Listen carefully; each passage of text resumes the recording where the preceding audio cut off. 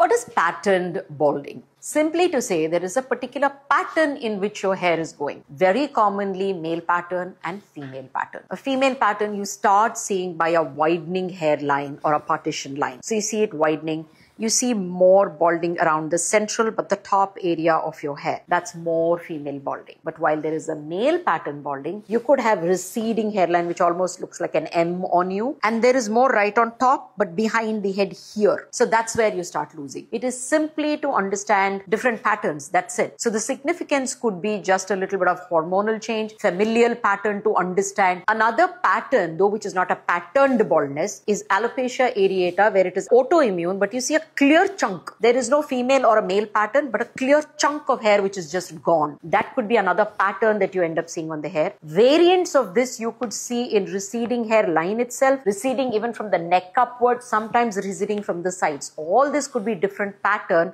of an alopecia areata. You could also see something like a frontal fibrosing alopecia, wherein you will see in the front the hairs, you start to lose hair, but there's also skin changes there. You start to see the skin become more thin scar-like tissue. So that's another pattern. So depending on how it looks on the head, doctor can pretty much diagnose what kind of hair fall you have, therefore do some relevant tests and then prescribe the right kind of medicine. This is also to tell you that not everything can be solved with just doing a few therapies of PRP and mesotherapy. Diagnosing what is your cause of hair fall becomes very, very important.